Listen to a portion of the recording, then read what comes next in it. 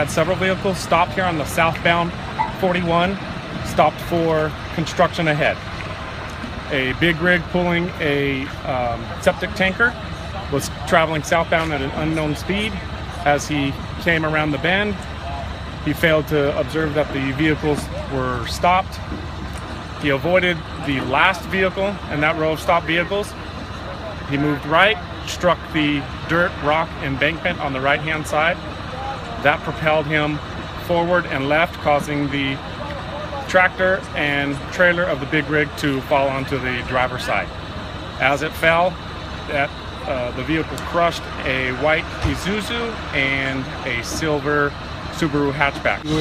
We were stopped in traffic and I heard a big explosion, like dynamite or bomb had to have gone off. And our car slid sideways and next thing I knew something fell.